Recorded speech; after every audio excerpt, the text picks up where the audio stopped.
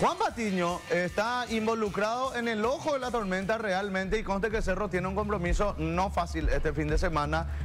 Juega ante Guaraní, un equipo que está sumamente necesitado y cosas raras lo que pasa con Cerro Porteño porque Cerro Porteño está puntero, sigue puntero, Sigue puntero a pesar de la derrota. pero también está en crisis. Totalmente. Exactamente. Es la situación por la que está pasando Cerro Porteño en estos momentos. El último partido que había perdido contra Olimpia en el clásico eh, no impidió que continúe en la punta. No así puede definirse si continúa o no en la punta del campeonato este fin de semana ante el partido de Guaraní, como había mencionado Arturo. ¿Qué es lo que pasó? Por supuesto, los hinchas ya habíamos visto que se habían indignado, se habían molestado con gran parte del plantel del Club Cerro Porteño por el desempeño en el último partido con el club frente al Club Olimpia. Y mira que en redes sociales al menos no fue muy cuestionado Juan Patiño, me refiero a este o posterior al clásico. No, Fueron para otros mí, nombres. Incluso para mí Patiño eh, no hizo un mal partido en el clásico. Y ¿no? bueno, no fue uno de sus mejores partidos tampoco, ¿verdad? Pero creo que estuvo dentro de los más rescatables, ¿verdad? Yo Dentro que- que en la defensa, ¿verdad? Porque inclusive Pulpito tuvo un error, ¿verdad? Que eh, valió el segundo gol para Olimpia. Bueno, eh, al parecer no pasó desapercibido Juan Patiño porque se vio una situación bastante densa, puedo decirlo, ¿verdad? Porque yo creo que ya escapa o ya escapó más allá de la crítica y la respuesta que puede dar uno, un profesional eh, a los hinchas en este caso, ¿verdad? Más todavía cuando se trata de fútbol, yo creo que hay que tener mucho cuidado a la hora de responder. Fue muy criticado, como ya dije, y más aún por lo que había sucedido. Hay un material que vamos a compartir con ustedes para que puedan ir entendiendo de qué se trata todo lo que pasó, Arturo.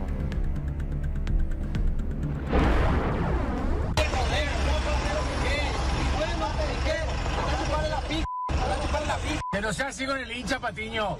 No sea así con el hincha. Que no sea así con el hincha, Patiño. Que no sea así con el hincha, Patiño. No sea así con el hincha. Este material se hizo viral en redes sociales.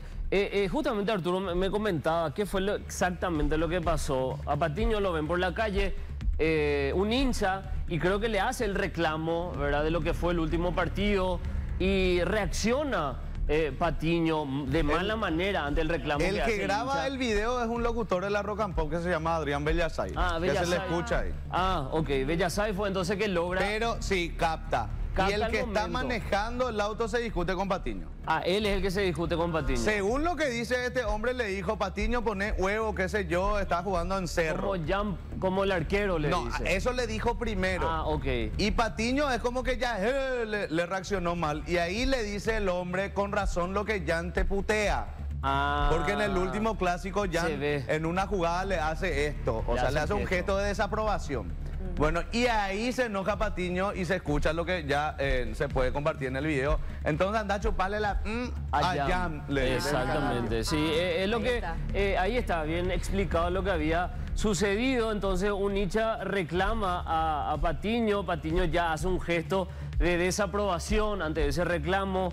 Eh, ante eso nuevamente el hincha lo compara o bueno justifica la, eh, el reclamo que le había hecho Jam en pleno partido, porque se ve partido. casi fue el tercer gol de Olimpia, Sí. ese mano a mano que salvó Jam, eh, creo que fue Montenegro. Montenegro, el que pase de Derlis. Exactamente, y Derlis es el que logra eludir eh, a No, pues Patiño. ni, ni- ni oposición pone Patiño. y, y- y Patiño como que va corriendo despacito, Eso ¿verdad? le reclama. Ni tuvo intención de poder marcar a, a Brian Montenegro, fue eso lo que había reclamado Jan. Bueno, entonces lo recuerda eso el hincha a Patiño. Bueno, Patiño ya totalmente sacado, nervioso, reacciona diciendo anda a chuparle entonces la pi a Jan Fernández. ¿Sabes qué pasó también? Y que acrecentó la polémica. Que Patiño, posterior a ese partido, dio una entrevista a una radio.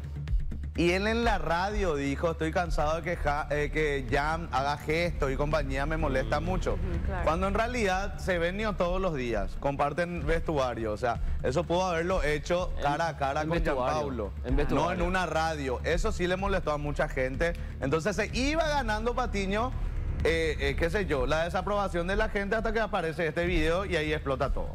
Sí, después de todo esto que se generó, Arturo, porque fue tendencia inclusive en redes sociales, eh, Patiño, ya empezó el debate de si los futbolistas se llevan bien o se llevan bien, se deben de llevar bien dentro de la cancha. Por otra parte, también la reacción del futbolista para con los hinchas, ¿verdad?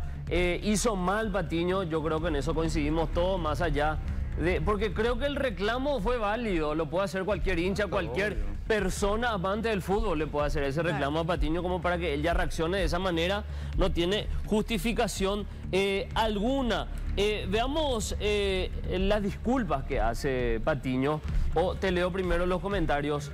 Los comentarios vamos a ir compartiendo de lo que decía la gente en contra de Patiño. Decía... Patiño, si no querés jugar en Cerro, gracias por todo y chao hermano. Cerro está por encima de todos y nosotros los hinchas somos los que siempre bancamos todo. Cierto es lo que les dijo Jan, aparte hay que poner más huevo. El que no le gusta, que se vaya. En mi opinión, decía un usuario que nació cerrista, porque así se llama el perfil. A Patiño le tienen que dar de baja del club ya mismo, dice este tuit. Primero faltó el respeto a sus compañeros declarando irresponsablemente, ahora le falta el respeto al, al hincha. Eh, el hincha es lo más importante del club Cerro Porteño, decía este. Todavía no puedo creer cómo un tipo que todo el día se ve con su compañero no le dice en la cara lo que le molesta y lo dice en la radio, lo que mencionabas Arturo. Este plantel está lleno de tipos con eh, temores, increíble. Por suerte dejaste de ser capitán payaso mediático sin códigos. Upa. Le decían a Patiño. Eh, cansado de que la nena Patiño salga a llorar en los medios y no se merecía gestos, se merecía un buen apuzarapo de jam, decía este usuario. Eh, Patiño, chup la a Jem entonces y yo me voy del club, el hincha. Sí, que se la lave, decía este. Un conocido personaje de una serie Sí. mexicana, eh, hacía, utilizaban como meme Arturo. Exactamente, y esto es la crisis de, de Cerro Porteño, porque no lo podés llamar de, de otra manera. Posterior a esto, creo que Patiño tuvo un arrepentimiento. Sí, le habrán dicho, se habrá calmado Patiño después de todo esto, habrá pensado en frío todo lo que pasó, se dio cuenta obviamente de lo mal que estuvo eh, ante la reacción de este hincha y hizo un posteo, una fotografía suya eh, con, en su hora de trabajo, porque obviamente está con la indumentaria de Cerro Porteño, dice, desde que llegué al club pasé por momentos buenos y malos, de momentos de tristeza y de alegría. Saqué pecho a situaciones más difíciles y esta no va a ser la excepción. Les pido disculpas a las personas a quienes les falté el respeto y créanme que daré lo mejor de mí para ayudar al equipo e ir en busca de mi tercer título con Cerro Porteño. Les mando un fuerte abrazo, es lo que decía Patiño, después de todo el escándalo que se había generado en la vida pública y así también en redes Ahora, sociales. ¿no será que el hincha cuando le, le increpa se lo, le dijo más cosas de mala manera? y capaz que sí, digamos, y puede se los hinchas y no, y no hay que te reclaman, oye, has jugado, has, has jugado Claro, muy claro. mal hoy, tienes que poner un poquito más de fuerza. Claro, Entonces claro. Dice, ¿qué hijo de puta? Sí, O sea, hay también gente que se pone... no va a hablar y Hay a mí si, a- si un seguidor de televisión me dice algo de mala manera, yo le digo, vení, bebé, mi canario, de mala manera. Pero eh, hay mucha gente también que se pone en el lugar del jugador, que eh, por ahí también eh, se puede sacar y compañía. Yo entiendo también eso, ¿verdad? Que Patiño puede responder, se puede poner nervioso, pero hay una cosa que voy a decir a la vez. No puedes ser tan pliqui, hermano, de reaccionar de esa manera. Si vos no te vas a bancar y si no sabes manejar emocionalmente lo que es jugar en un club popular, porque esto te va a pasar en Cerro, en Olimpia, en Guaraní, en El Luqueño. Luqueño. Si vos no vas a saber manejar eso y si en realidad tenés derecho a enojarte, podés enojarte. Pero loco, no podés manejar en una forma tan pliqui, una situación Claro. así. Pero- Encima fuiste capitán tanto tiempo, ¿verdad? El club también le tiene que ofrecer, no sé si es que tienen y no le están sacando el jugo, eh, un psicólogo deportivo. Realmente hoy la psicología deportiva es como que está en falencia. De ahí a que tipo vayas y puedas canalizar tus emociones, porque evidentemente eh, está mal canalizado. eh, canalizada la frustración del resultado del fin de semana.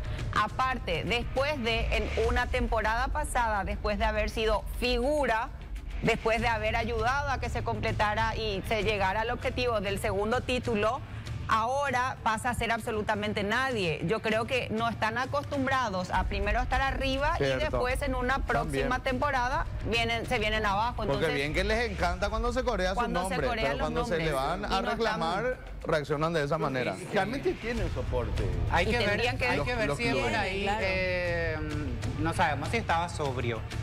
¿Verdad? Vos decís. Y no sé, qué sé yo, una reacción tan de por ahí estaba borracho, estaba en pedo, algo. O no estaba sé si muy él estaba, sacado, eh. él estaba manejando, no, No. no, no se ve, de por ahí estaba en yo, pedo. yo- creo que estaba manejando. Para mí él. que era él, ¿verdad? Sí, eh, para mí que iba de acompañante. Hay que ver si es que por ahí no estaba borracho.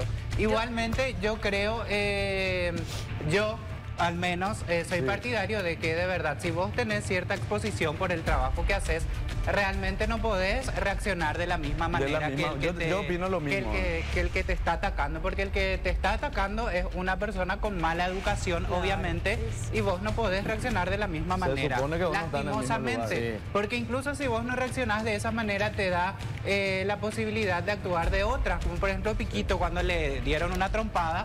eh, Él no podía nada. empezar él- a- claro, y- pero le dieron la posibilidad de ir a donde corresponde, a la justicia, claro. eh, le Bueno, indemnizaron. ahí, bueno, igual demás. no tenía mucha Claro, posibilidad ahí no no tuvo- No opción porque terminé ahí al fondo. Bueno, ay, no te hagas nada. Pero bueno, pero si hubiera, si hubiera eludido, lo más probable es que le hubiera roto la. Qué grande Piquito, ¿eh? en la cara de la copa. Mira qué piquito. Qué grande Piquito. Pero mira que piquito es bueno esquivando la pasada, Tere le hizo un...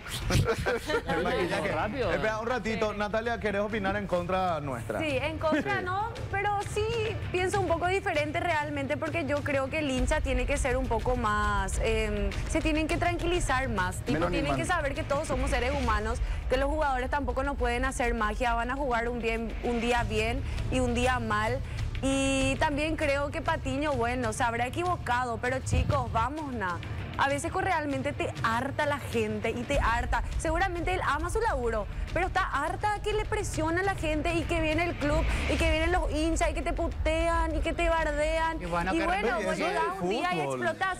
Claro, es cosa del fútbol, pero yo a lo que yo quiero ir es que todos podemos equivocarnos, todos podemos reaccionar mal, ¿entendés? Todos podemos reaccionar mal. Yo puedo estar hoy re mal y venir y me ¡ah! ¿Entendés? Reviento. Así como. Y es, también válido y está también bien que No, pida válido. disculpas, porque todos es nos equivocamos, todos decimos cosas que no queremos decir, pensamos cosas que no queremos pensar, reaccionamos como no, no queremos realmente Pero reaccionar. Quiero Patiño más que nadie debería saber eso, Natalia. O sea, él sabe que va a venir a hacer Sí. dos bu- buenos partidos Y va a ser y, ídolo. esto va a quedar en la historia. O sea, sabiendo eso como un profesional, Pico, vos te vas a ir a gritarle a la hinchada, a chuparle la pía. Levantar nomás el. Es cierto nivel, es cierto No, lo no que dice Seba. pliqui, ¿no? Andes nomás lo que dice Seba. Hay una carga de responsabilidad diferente de acuerdo a la profesión que tenga. De- no solamente si sos mediático, ¿verdad? Me refiero a un futbolista, a una persona de medios. Puede ser un médico, o sea, eh, hay una responsabilidad, una carga de responsabilidad diferente para cada artista. Es Claro, distinto, obviamente, sé. cada oficio. Por eso es que si por algo te dedicas a eso, se supone que tenés la mínima preparación y capacidad de poder sobrellevar Manejar. las consecuencias de lo que haces y lo que no haces. somos seres humanos. India, quiero escucharte un poco con una visión psicológica acerca de lo que estamos hablando. Si, si bien estoy un poquito de acuerdo con Nati en ciertas cosas, digo también que creo que a veces el jugador se olvida que tiene una responsabilidad y tiene que tener una conciencia social. Sí. De que él en realidad trabaja para un público, para su gente, para su pueblo. Es como que siempre se olvidan de esa parte. Y eso es cierto, tienen que estar preparados emocionalmente y prepararse emocionalmente para poder lidiar con ciertos conflictos que ya se sabe que van a pasar. Y más todavía si hay fanatismo de por medio, Así al mismo. fanático no le entra bala, o sea, al pedo le pedí respeto, ahora que, que se ubique al putee, lugar, no no se la- puede. Una yo, quiero cosa, alegar Natalia. ah, y lo que- Sí. una cosita más, porque viene al caso, es diferente, ¿no? Pero en, en los 70, cuando Bob Dylan dejó de cantar los temas medio testimoniales, su público le empezó a exigir, queremos más canciones de protesta. ¿Cuál fue la respuesta de Dylan? Si quieren himnos, escríbanlo ustedes. Sí. O Bueno, sea, pero no le dijo, yo creo- ¿y qué es lo que chúpenme la no, le digo, respeto por lo menos. O sea, A lo que voy yo, pues, Bueno, pero ¿qué es lo que no querés decir. Piquito? Que nosotros tenemos que jugar en vez de patiño. No, que todos podemos responder. Si a mí alguien me dice algo, yo le voy a mandar a la responder, pero con. En la puerta del canal. No, lo voy yo a hacer en la puerta. De hecho, lo hago en Twitter. Sí, cada uno es responsable de lo que hace. Eso no quiere decir que a mí me siga pareciendo que esté súper mal tener que responder del mismo tono a un desubicado o inadaptado. O sea, si él se desubica, yo no me voy a desubicar, pero le puedo responder de la mejor manera Pero no posible. creo digo que era-. Estamos, tenemos que cerrar el tema. Tenía que dejar su vídeo para arriba Ay. nomás y Sí, soluciones. También. Por, por, por lo sano. Sí. Bueno, cortamos el tema Patiño. Seguramente está arreglando su problema con Jan en el vestuario en este momento. sí.